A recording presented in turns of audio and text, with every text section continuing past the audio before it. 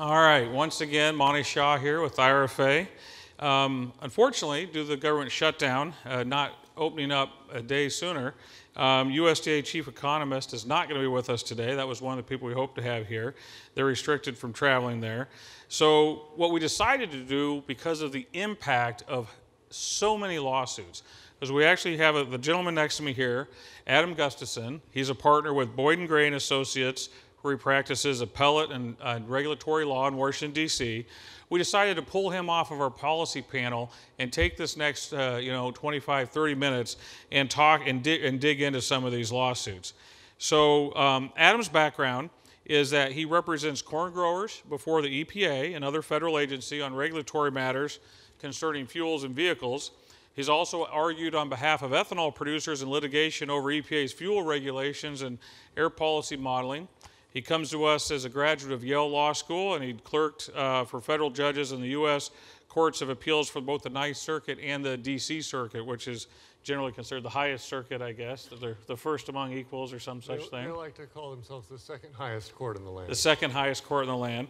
So I'm going to run through uh, some court case things and some other regulatory issues that Adam's working on.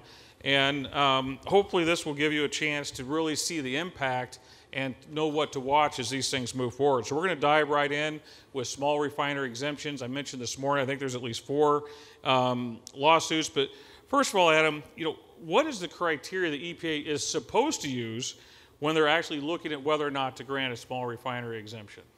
Thanks, Monte. I will answer that question. Uh, first, I, will just say uh, I'm sorry that uh, you couldn't have a USDA official here with you today as a lawyer, I'm used to being the second best solution. Um, and that might be a theme of our conversation today. Uh, sometimes lawsuits are the, the next best solution to a policy disagreement you'd rather have solved uh, in a legislative body or a regulatory body. Um, the, Monte, the last time that I was in this room was three years ago, a day that you alluded to before lunch. Um, and I, I went back and looked at what then candidate Donald Trump said when he was on the stage, and it's the, the quote that you alluded to. He said, As president, I would encourage regulators to end restrictions that keep higher blends of ethanol and biofuels from being sold. He committed to uphold the RFS, but he also made this commitment to remove regulatory barriers. And I think that's important, and I'm, I'm pleased to be able to be here today to talk about both of those things, RFS and removing regulatory barriers to a, a market for higher ethanol blends. And we, we will try to get to that in the time we have because it didn't say just E15. It said higher blends, so we'll hope to have some time to dig into that. Um, so to answer your question, you know, what is EPA supposed to consider when it decides whether to grant these small refinery exemptions? Well, the statutory criteria are pretty simple. Um, it has to, or at least on the surface, it looks simple. Um, it applies only to small refiners, that is, those with a throughput of 75, uh, what is it, 75,000 barrels or less per day. Um, and then the question is whether there's disproportionate economic hardship. Um, now, the courts have acknowledged that that is an open ended standard, but they have approved EPA's viability interpretation of that, which basically means if the company is not threatened in, in, its ability to compete, then it's not facing disproportionate economic hardship. Um, now, the only other uh, item I should mention is that the statute requires EPA to consult on this question with the Department of Energy. And uh, the DC Circuit has acknowledged that in the past, DOE's recommendation served as the primary factor in EPA's determination.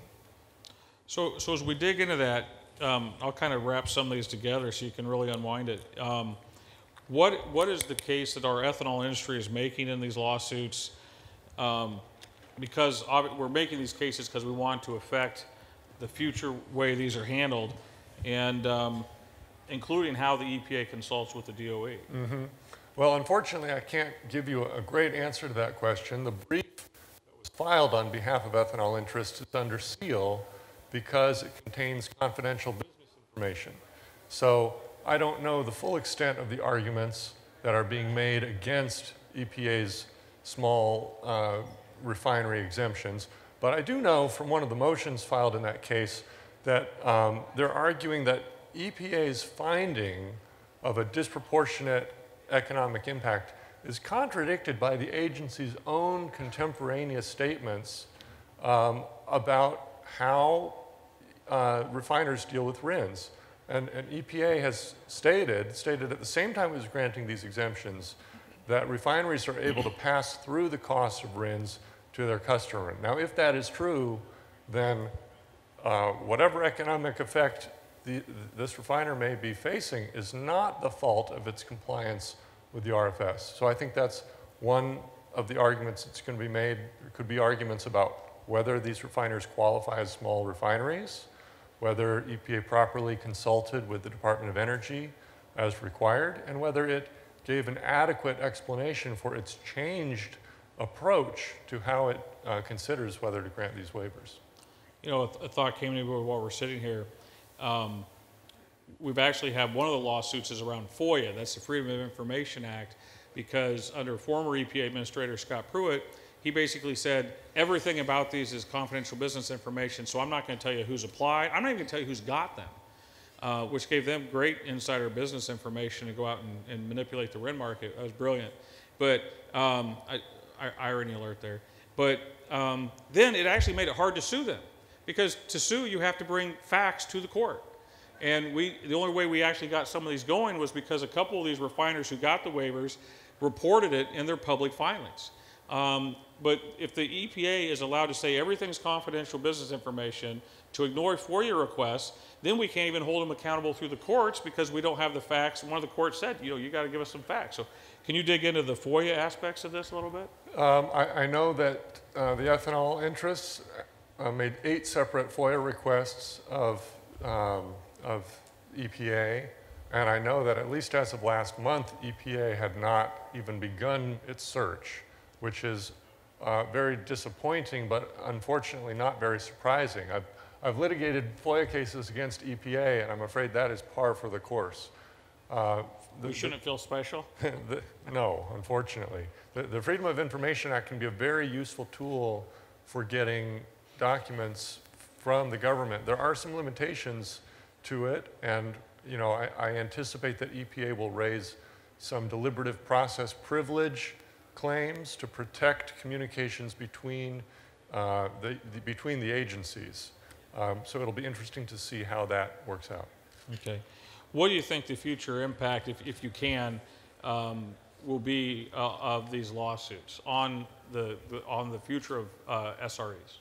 Well, I think a win uh, for the ethanol industry would be uh, really important. I think it would make EPA much more cautious about granting these in the future. I don't think it would eliminate the possibility of small refinery exemptions in the future, uh, depending on the rationale that the court uses, assuming ethanol wins. Um, it, it, could just make EPA dot its I's and cross its T's more carefully in its consultation with the Department of Energy. But uh, it could be very important. We'll, we'll see what the, what the issues are and what the court decides. Okay. That's what I've said about 2019. It's going to be very impactful, for better or for worse. One of the other lawsuits I brought up earlier today was what I call the remand case. Uh, it's a case that's actually over and that we won. Um, when in 2016, uh, the EPA decided to rewrite the English language uh, and, and, change the definitions of supply and demand around, and to use that as an excuse to waive about half a billion gallons of uh, ethanol from the 2016 RFS uh, level. Uh, we took them to court and said, no, supply means supply and demand means demand. And, and, luckily, in that case, the plain English came through the court system intact, and they were ordered to basically give back that half a billion gallons. Um, they, have had two different annual uh, RVOs, we call them, RFS level rulemakings, in which they could have done that since this court made that court order, and they haven't. So, you know, where do we, where do we see this going? It's something I'm, I'm very interested in. I'm interested in it too, Monte, and, and I'm particularly interested in that case uh, because the judge who authored that opinion, then Judge Kavanaugh, is now Justice Kavanaugh on the U.S. Supreme Court. And as you say, um, he took the statute at its plain meaning and applied the meaning of inadequate domestic supply and said to EPA, look, you can't claim there's an inadequate domestic supply by pointing to a demand side problem that you've caused by your own failure to implement the, the RFS. He didn't say that last part, but I, I added that part. Um, so I, I think um, why EPA hasn't done, acted on this remand yet, I think is an important question. Uh, I think, you know, as Paul talked about uh, in, in, the last session, we've got uh, a reset rule that EPA has said is in the pipeline. It's, EPA said it's going to come out this year. That, I, I don't know how this government shutdown will affect things. Um, I hope that EPA will prioritize the RVP rule that I hope we'll get to talk about. But um, it's possible that EPA could try to use the reset rule to sort of uh, hide away those extra 500 million gallons. I, I hope that there's no um, trickery involved there, but th that could be a, a shell game to, to, watch out for. You know, if, if, it was still EPA Administrator Pruitt, I would be very, very concerned about that. Um, I want to give Wheeler the benefit of the doubt. Uh, and I will just tell you, speaking on behalf of Monte Shaw, I don't know how many of my board members are here, so they can either give me a thumbs up or, or afterwards they can tell me to shut up. But um, if the EPA uses the reset, takes our 15 billion gallons um, that, that the, the statutes there that's, that has um, never um, not been complied with as it was enforced, um, and then say, oh, we're going to lower that for some, you know, uh, cockamamie reason, oh, but, but then we're giving you your 500 million, you know, so let's say they lower it 250 here, 250 here, and then say, oh, but we're adding your, your 500 back over these two years, and we magically end up at 15 billion gallons. To me, that's a declaration of war that would be, uh, uh, that would be breaking President Trump's promise that he made on the stage three years ago.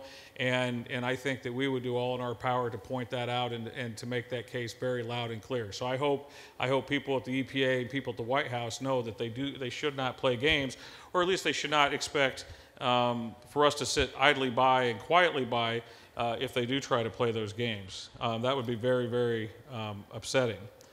Um, I do want to switch, and we might have some time to get back into some of the lawsuits um, on the RVOs and things, but I did want to say um, you're doing some very interesting work. I know work with the Iowa corn growers and other groups um, on um, future fuels and different things, higher blends. So the Sierra Club has been pushing the um, EPA to do what's called an anti-backsliding study. That's where they're supposed to go in and say, hey, because of the implementation of the RFS, have there been any unintended air quality um, uh, backsliding, you know, harm done? And if so, then they have to take care of it. Well, one of the challenges with that is there's this MOVES model where they plug in data on ethanol into a broken model and get a broken answer.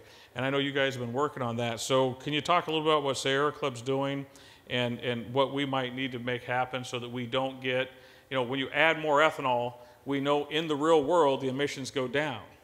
But in the EPA's model, the emissions go up.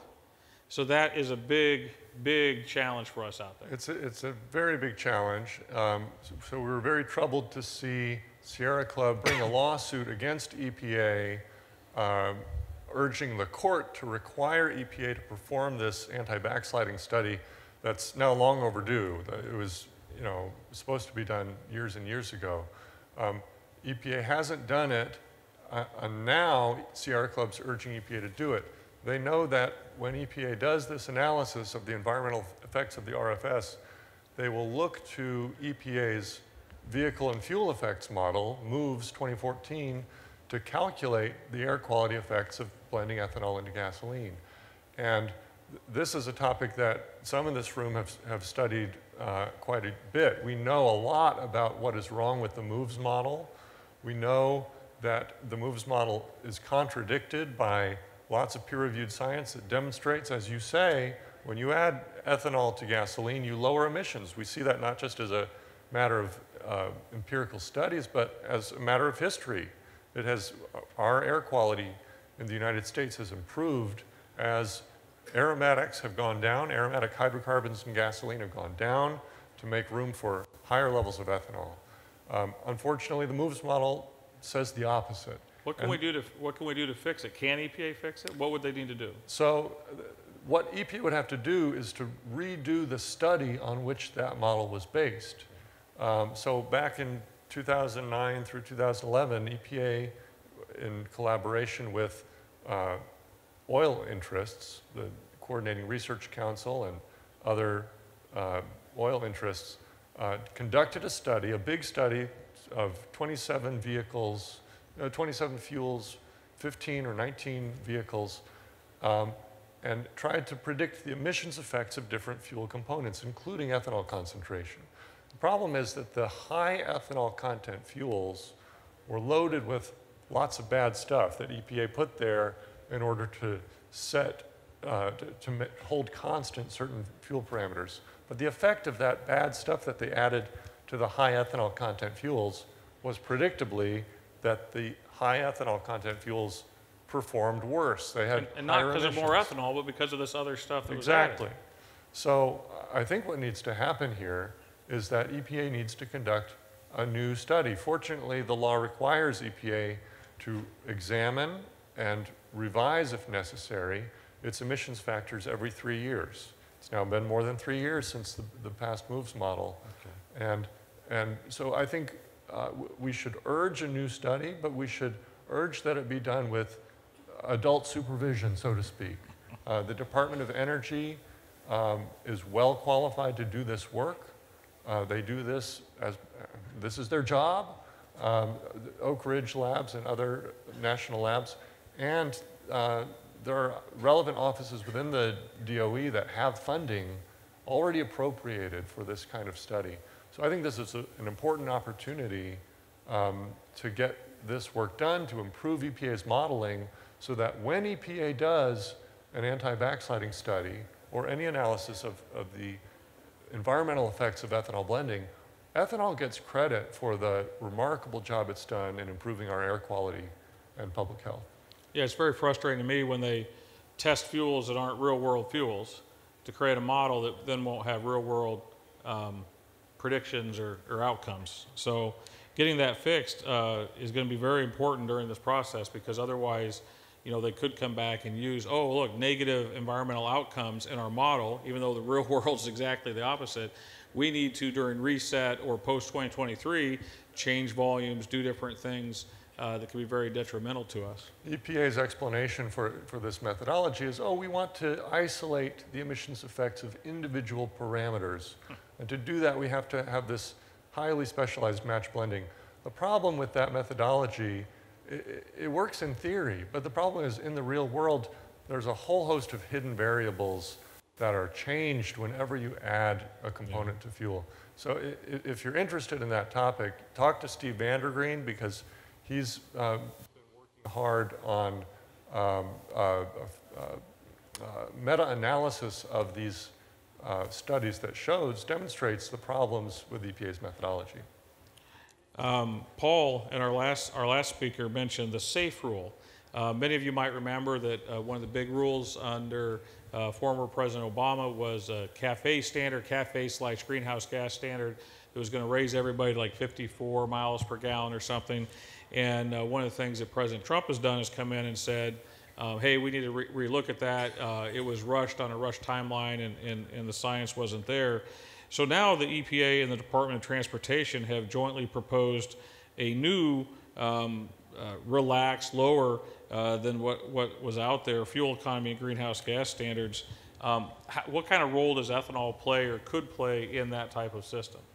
Well, in a word, the the key parameter is octane. As, as we've heard earlier today, you know, ethanol has a tremendous value to add to fuel in the form of octane.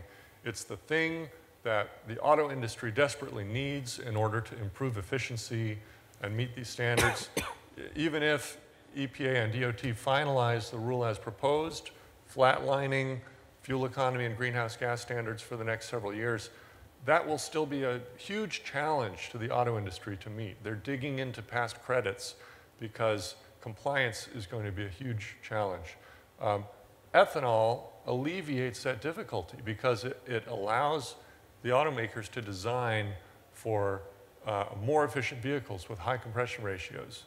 And so we were very pleased to see EPA respond to our input and in the proposed rule to ask for comment on the potential benefits high octane fuels could provide via the blending of non-petroleum feedstocks. That, that was very encouraging to hear EPA invite comment on that.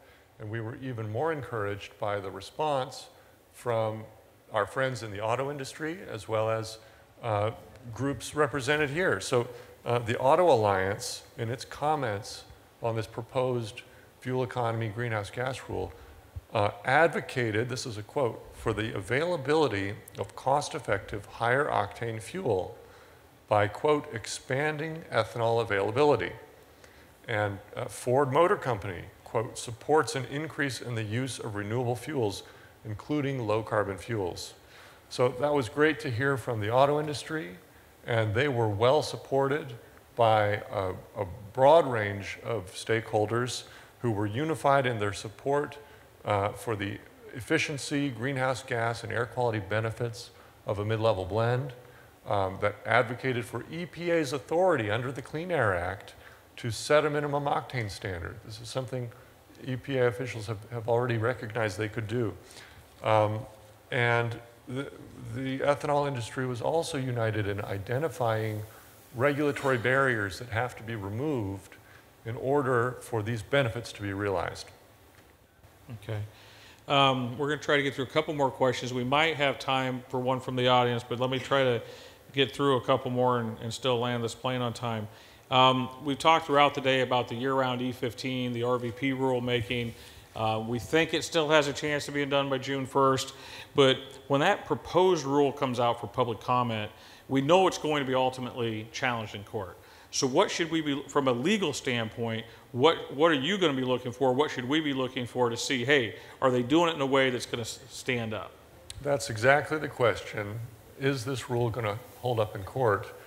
And the, the second question that I'll be asking when I look at the proposed rule is, is this a solution for E15 only, or is it a solution that opens the door to mid-level blends? The, the situation that I think we should try hard to avoid is um, a rule that barely allows E15 to be sold year-round, but then leaves in place barriers that could easily be uh, removed and should be removed to higher ethanol blends.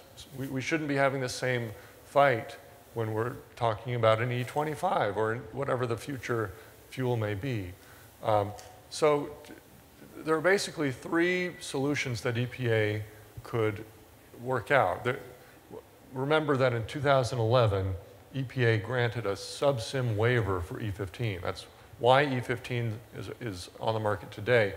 That was necessary because at the time, there was no ethanol in the certification fuel that automakers use when they're uh, demonstrating their new vehicles' compliance with emissions and greenhouse gas standards. Um, at the time, we needed a subsim waiver because there was no ethanol. And that subsim waiver that EPA granted imposed a limit on the Reid vapor pressure, the evaporative tendency of the E15 fuel. It put a nine pound per square inch limit, and that's now the problem that's being dealt with. The question is, how do we deal with that 2011 E15 waiver and the RVP limit there? And there are three possible solutions. One is not a sufficient solution in my view. It's just to fix the 2011 waiver, redo the waiver, and remove the RVP solution. Okay. That, that leaves you at E15.